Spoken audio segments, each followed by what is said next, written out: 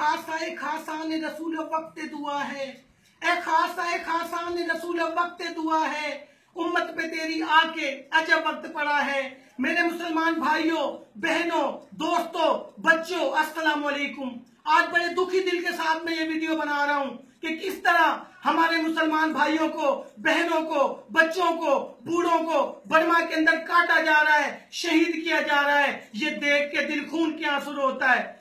किस तरीके से मुसलमानों पे जुल्म सितम उठाए जा रहे हैं? किस तरह औरतों की इज्जतें लूटी जा रही हैं? आज भी बर्मा के अंदर माए कहती है कि कोई है मोहम्मद बिन कासिम जो हमारी मुसलमानों की मदद को आए? आज भी वो मोहम्मद बिन कासिम को बर्मा के अंदर पुकार रही है। मैं पूछना चाहता हूँ कि वो चौतीस इस्लामी मुल्कों का इतिहाद कहाँ गया? वो चौतीस इस्लामी मुल्कों का इथाद कहाँ धनिया पी के सो गया, जो बर्मा में अपने मुसलमान भाइयों की मदद के लिए नहीं जा सकता? वो कहाँ गया वो चौतीस मुल्कों का इतिहाद? और मैं पूछना चाहता हूँ कि वो मोमबत्ती वाली अंतियाँ कहाँ चली गईं? कंदील बलोच के कत्ल पे शोर मिचाती थी। वो अंतियाँ चाह कहाँ चली गई हैं? उनको ये शहीद होते मुसलमान। इनको ये कटती हुई लाशें बर्मा में दिखाई नहीं देती। कहाँ चली गई वो आंटियाँ? और कहाँ चला गया वो दजाली मीडिया जो आन अली के कपड़े भी दिखाता है? भारतीय सॉन्ग को बड़ा चढ़ा के पेश करता है। ब्रेकिंग न्यूज़ पे पेश करता है। वो मीडिया कहाँ चला गया है? आज उनको बर्मा में शहीद होते हुए मुसलमान दिखाई नहीं देते। आज बर्मा में कटते हुए बच्चे उनको दिखाई नहीं देते। वो कहाँ चला गया वो दजाली मीडिया? मीडिया को भी अपना किरदार अदा करना चाहिए। और अकवा मुतहदा जिसका काम ही मुल्कों के अंदर अमन लेके आना है, वो ह्यूमन राइट्स की तंजीमें वो कहा चली गई कि अगर एक गैर मुस्लिम के साथ ना इंसाफी हो तो आसमान को सर पे उठा लेती हैं। तीस हज़ार मुसलमान अब तक बर्मा के अंदर शहीद हो चुके हैं। लाखों मुसलमान बेघर हो गए। आप कहाँ चले गए? कहा इंसानी हकूक की तंजी में चली गई? कहा अकवाम मुतहदा मर गया? मैं पूछना चाहता हूँ, आपको ये मुसलमान, ये बेघर, कटते हुए मुसलमान दिखाई नहीं देते? और मैं बांग्लादेश की वज़ीर आज़म से और अवाम से भी पूछना चाहता हूँ, क्या आपने अपनी सरहदें बंद कर ली आप इनको पना नहीं दे सकते। वो आपके मुसलमान भाई हैं। आप अपनी सरहदें नहीं खोल सकते थे। लेकिन भारत के कहने पे, मोदी के कहने पे आपने अपनी सरहदें बंद कर ली। शर्म आनी चाहिए आपको भी।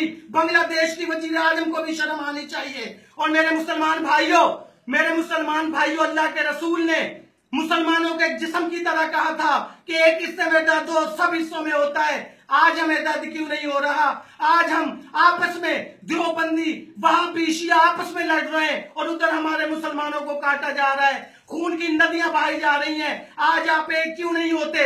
इलाम इकबाल ने सही कहा था कि यूँ तो सैयद भी हो मिर्ज़ा मिर्ज़ा भी हो।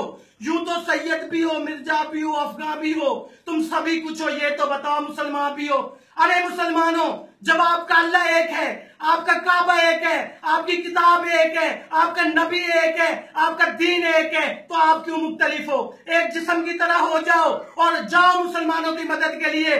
आए मुसलमानों की मदद के लिए बर्मा में जाए। जहाद आप लोगों के ऊपर फ़र्ज़ हो चुका है। अपने मुसलमान भाइयों को बचाना आपके ऊपर फ़र्ज़ हो चुका है। और मैं अपील करता हूँ, नवाज़ शरीफ से, इमरान खान से, सराजुल हक से, मौलाना फजलुर रहमान से और तमाम दीनी जमातों से, क्या आपको भी चाहिए कि मुसलमानों के लिए आप आवाज़ को उठाएँ? मुसलमानों के लिए आवाज़ को उठाओ। अगर आप आज खामोश रहे तो कल को बर्मा के मुसलमानों का हाथ होगा और हमारी गर्दनें होंगी। आज आपको आवाज़ उठानी चाहिए। इसके खिलाफ भी आपको भरपूर आवाज़ उठानी चाहिए।